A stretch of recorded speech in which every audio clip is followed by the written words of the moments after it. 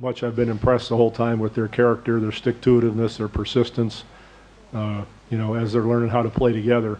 Uh, Tonight was a great example of that. You know, the the Serbian team, uh, very experienced, you know, Sasha does a great job with them, but they're not just talented, they play the game uh, in a fantastic manner. They, they hit the open man consistently uh, on every single possession. Really good drive and kick team, and obviously they're talented, so they did a good job, and uh, that's that.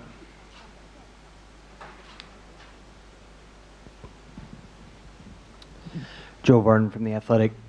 Harrison, um, wanted to, to ask you uh, a couple of questions about the same topic.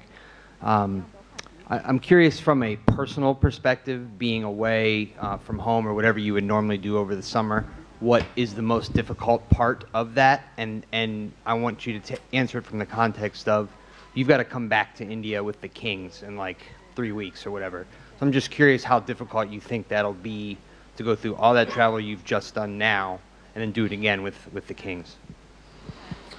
It's really not that bad. Um, you know, I'm, I'm, I'm a hooper at heart, so you know, for me to be able to one play competitive basketball in the summer, um, as opposed to playing pickup, you know, obviously this was something I would I would do in a heartbeat. And you know, I think the opportunity to represent your country, uh, at least you know, for a player like myself, it, it doesn't always doesn't always come around. You know, you have to kind of savor those opportunities and and jump on those, you know, when the when the opportunity is there. So.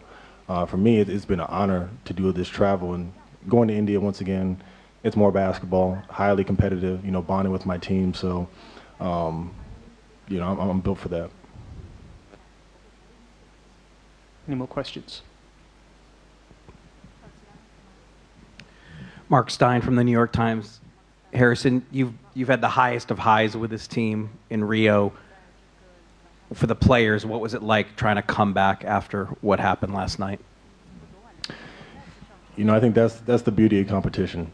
You know, when we signed up, you know, August 5th, August 6th, August 6th, whenever that was, you know, we made that pact that we were gonna, you know, do whatever we could, you know, to win basketball games, to go out and try to win a gold medal. And you know, on the on the flip side of that is, there's a chance that, you know, we may not win. And you know, I think there's no regrets from our group in terms of what we've given, what we've sacrificed, um, the commitment everyone has made away from their families, away from their teams, organizations, all of that. So, you know, for us, you know, we have to we have to sit with that. Um, like I said, no one has regrets, and on Saturday, you know, we had that opportunity to, you know, go out there once again, uh, play a game, represent our country. You know, for some of us, potentially all of us, it could be the last time we wear a USA jersey, um, or the beginning of many. So I think we just have to just savor that opportunity.